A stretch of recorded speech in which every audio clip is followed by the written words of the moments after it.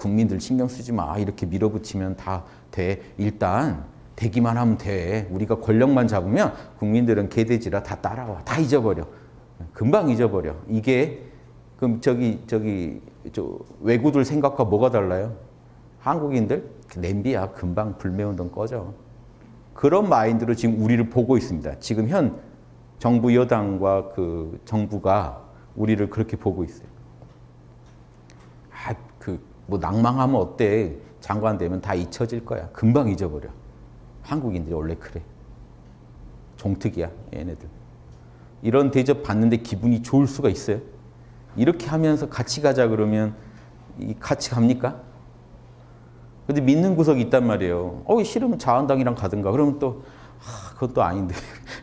국민들이 힘들어하는 건 지금 이 여당이 잘해서 지금 지지받는 줄 착각하고 있는 거예요. 자기들이 잘해서가 아니라 이쪽이 워낙 문제 덩어리라 차마 저 그러니까 대안이 없어서 계속 가고 있는데 여기다 대고 계속 이제 이 자한당 뿌락지더라 막 이런 짓거리를 하고 있다는 것 자체가 미쳤다는 거예요. 지금 이, 이 여당들은 자기들 빠들의 논리에 빠져가지고 이쪽은 이제 국민 쪽은 버리고 가기로 한 겁니다. 오케이. 뭐 우리가 가면 따라오는 거지. 지들이 별 수 있어. 이게 불쾌하다는 거예요. 이게 불쾌한 사람들한테 가짜 뉴스에 속으셨네요. 사실 확인해 보셨어요? 팩트 체크 하셨나요? 자한당 쪽이신가요? 어쩌자는 거예요, 지금.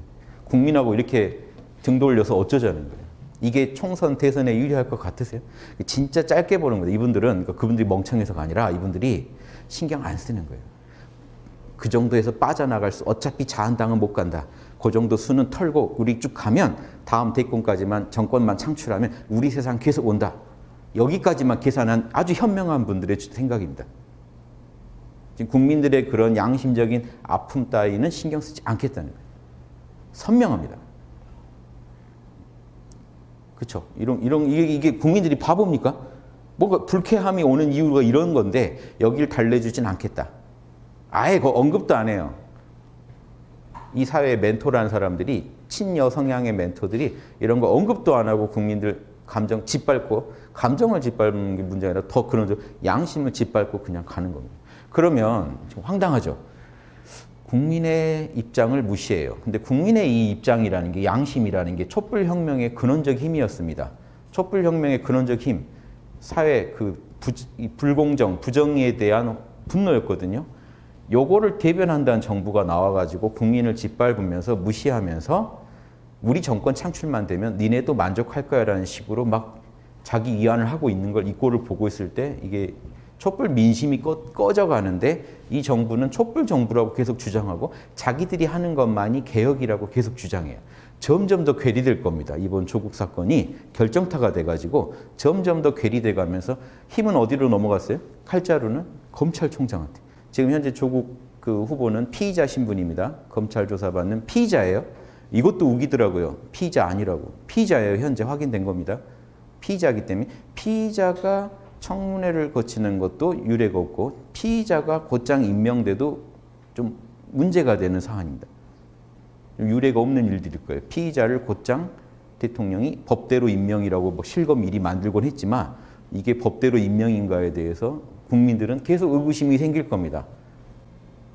이런 부분 달래면서 사죄하면서 가라는 거예요. 제 주장은.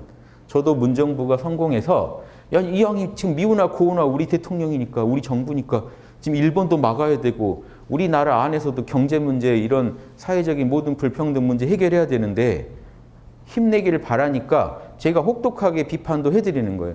국민 촛불 민심 버리면 절대 망한다. 다음 그렇게 정치 논리로 진영 논리로만 해가지고 자한당은 이기기만 하면 우리는 계속 정권 창출이라는 식으로 생각하시면 어떤 식으로든 분명히 무너질 때가 온다. 그건 안 된다.